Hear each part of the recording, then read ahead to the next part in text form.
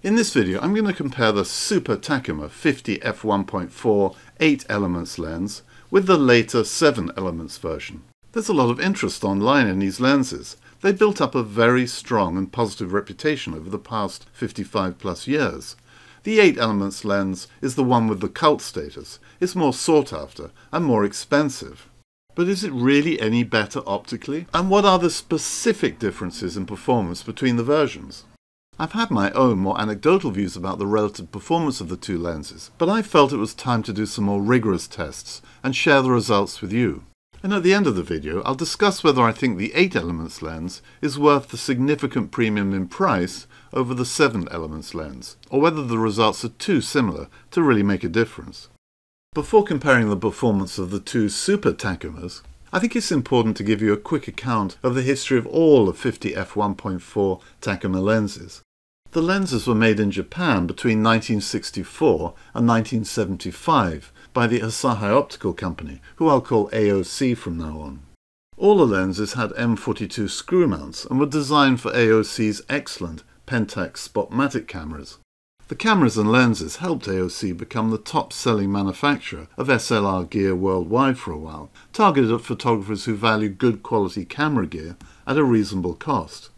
Not only were AOC highly innovative in the features they introduced to help photographers, such as in-camera, through-the-lens stop-down metering for example, the build quality of the cameras and lenses was extremely high, maybe not as indestructible as the heavier and more expensive Nikon F range, but still very well made.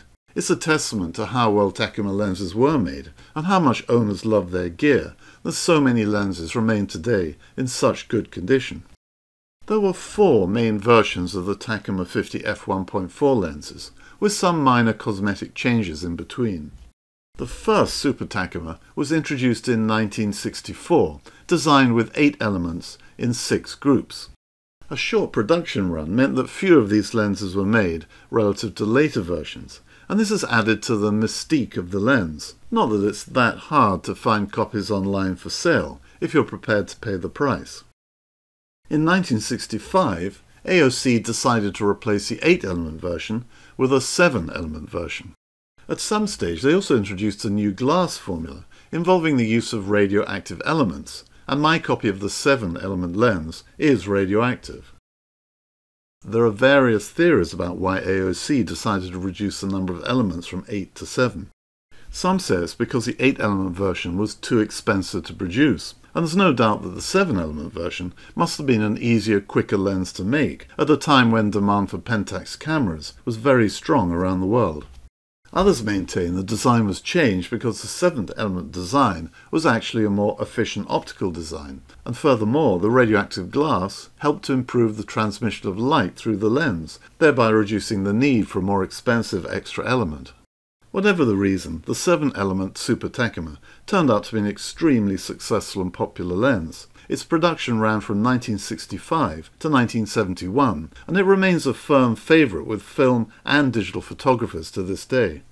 As an aside, if you want to tell the difference between the 8 and 7 elements versions, simply by looking at them, then look at the rear glass. If it has more of an outwards curve, it's the 8 elements lens. A second giveaway is an orange infrared line on the markings above the aperture ring. If the line is on the right of the 4, then it's an 8 element. If it's on the left, it's 7 elements. In the early 1970s, AOC developed a new way of applying multiple coats to lenses, and this was incorporated into the Super Multi-Coated Takumar, a lens that still used radioactive glass. Like the 8-element version, it only had a short production run. The final version of the f1.4, before AOC switched to a bayonet mount, was the SMC Takumar. The lens retained the same optics and 7 elements design, but AOC decided to replace the all-metal focus ring with a rubberized ring. This final Takumar also has radioactive glass, but the radioactivity emanating from my copy is significantly less than the two previous versions. Indeed, I remeasured the rear elements of the three radioactive versions with my Geiger-Müller counter for this video, and the Super Takumar 7-element lens has the highest maximum radioactive readings, five times the amount of the later SMC model. Now, for many years, indeed decades, I've had rather strong opinions about the relative merits of these lenses. It seemed to me that if you wanted the best stop-down performance, then the super multi-coated versions were the ones to buy. The multi-coatings reduce the negative impact of strong light sources and help to improve contrasts and colours. The colours produced by these lenses could be really good. Since I prefer all metal focus ring to a rubber ring, then the super multi-coated model appealed to me the most, and indeed it was the first one I bought, and I've never regretted it. But then, if you're looking for a lens that produces the most beautiful wide-open bokeh, then I think the lens with the least amount of coatings is probably the best version to buy. That's because lesser coated glass, especially in strong light, tends to produce more washed-out results, more artistic, watercolory rendering, in situations where you want smoother rather than contrasty bokeh. I'd also noticed anecdotally that the 8 element version appeared to be slightly sharper wide open than later versions. However, I'd never seriously tested this observation, so I decided it was time to try a more rigorous comparison. To do this, I needed to de-yellow a relatively early copy of the 7 Elements radioactive lens, something I've resisted doing in the past. By de-yellowing the lens, the speed of the lens and colour rendering will be closer to a clear 8-element lens. The copy I'm using was kindly bought for me in Texas by my American in-laws, and it has a Honeywell Pentax branded lens cap. Honeywell was the official US importer of Pentax gear at a time when the lens was manufactured in Japan. My de-yellowing was reasonably successful, but as you'll see I haven't been able to completely de-yellow the glass. Nevertheless, it's much clearer than it was when I first got it.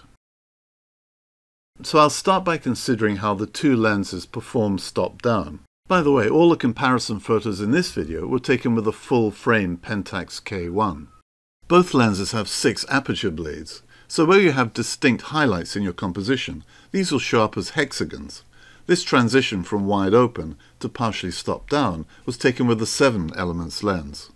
And here's a video I made with an 8 elements lens, transitioning from stopped down to wide open. This video also gives a good demonstration of the impact that an excellent f1.4 like the Takumar lens can have on the busy background. I think it's a rather beautiful result wide open. After the six-bladed lenses, AOC's introduction of two more blades for the later super multi-coated versions is another point in their favour to me. For more standard stop-down shots without distinct highlights, the first thing to note is that the 7 elements radioactive lens still has slight yellowing, as you can see in white objects or buildings. They have a more golden tint. I suspect that photographers who enjoy using vintage lenses sometimes rather like this golden tinted look, but personally I prefer to have a clean image that I can tint later. As I've done here with the 7 Elements lens using an in-camera filter. Leaving aside these coloration differences, I can't personally see any significant differences in the performance of my copies of these two lenses stopped down. In terms of details, both lenses perform well for more long-distance shots. They render better than many of the contemporary European and Soviet Union Fast 50s. I just trust them more than many other vintage Fast 50s I own.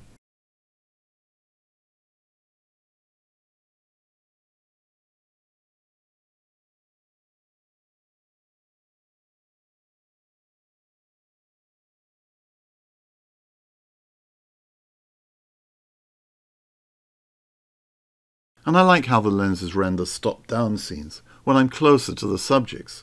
The details are nice and crisp.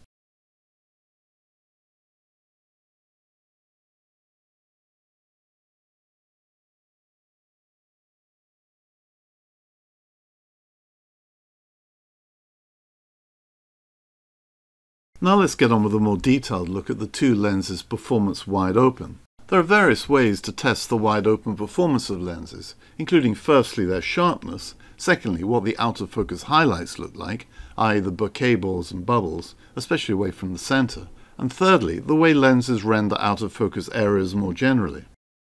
The first two can be tested, while the third is a more subjective area, because you're attempting to describe the quality of bokeh, something that's not easily measured, it's more a matter of personal taste.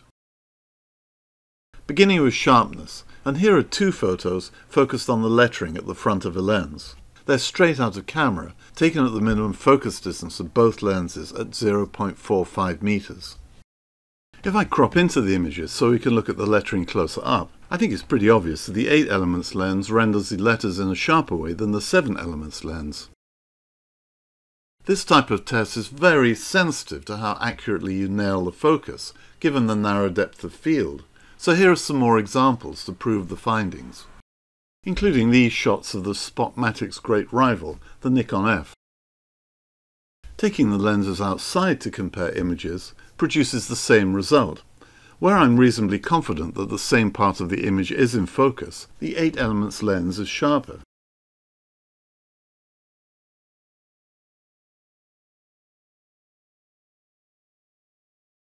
I think one of the main causes of these differences comes from the seven elements tendency to produce ghosting or a glow around in-focus subjects. This tends to distract from a sharper in-focus look. That's the good news for the 8 elements lens. Less good news is that the lens produces quite noticeable purple fringing where there is bright light, something the 7 element lens is less prone to do. There can be a little fringing in more extreme light, but nothing like the 8 elements lens. The second wide open test involves the out of focus balls or bubbles produced by the lenses.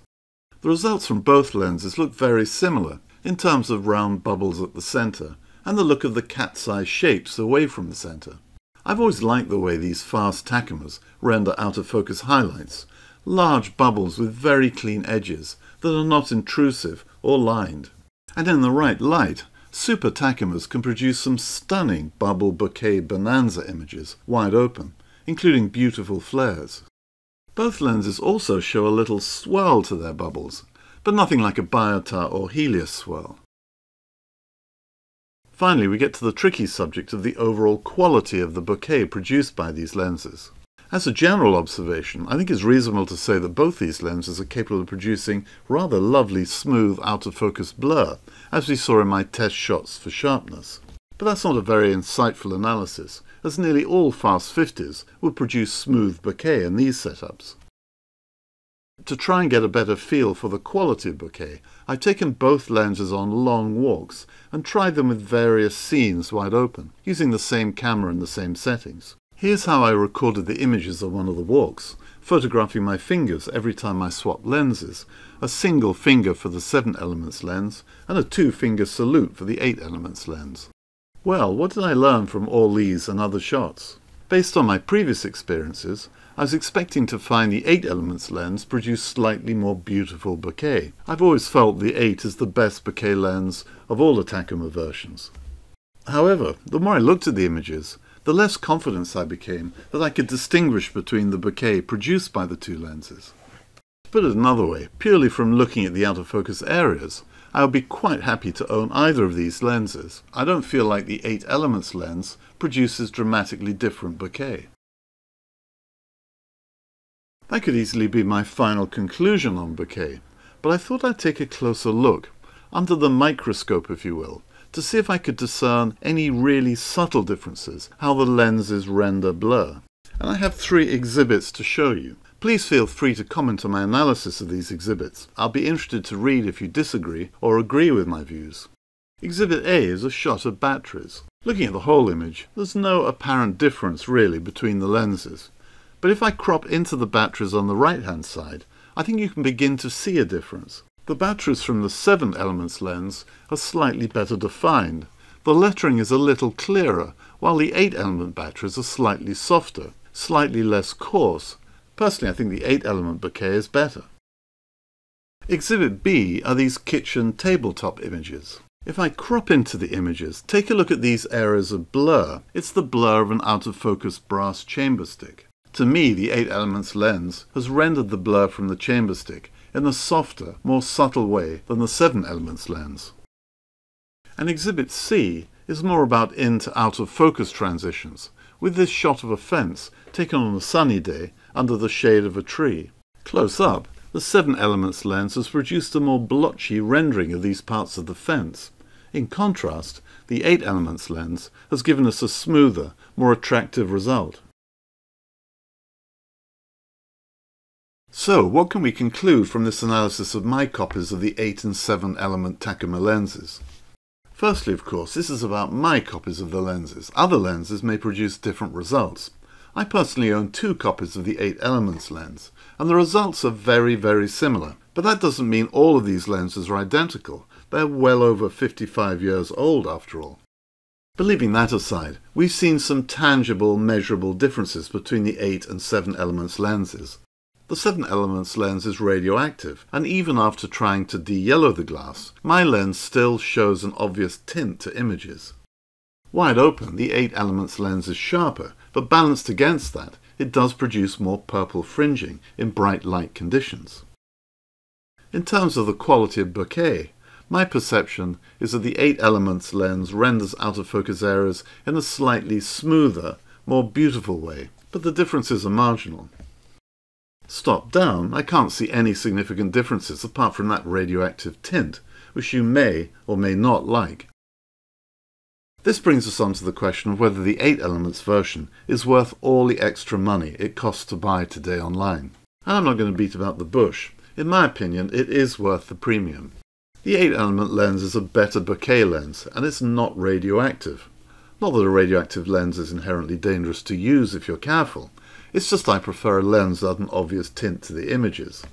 And although some owners have been able to get rid of this tint completely, it's not something I've been able to do, unlike other radioactive lenses where I've had more success.